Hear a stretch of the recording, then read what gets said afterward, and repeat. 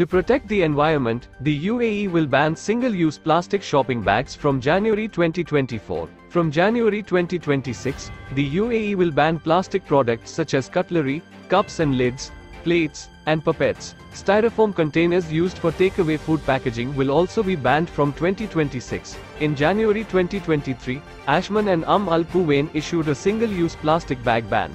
This has inspired the current UAE-wide single-use plastic ban. Once enforced, all bags must be biodegradable. They must be made of either paper or woven cloth. Let the world hear about your brand through Channel IAM.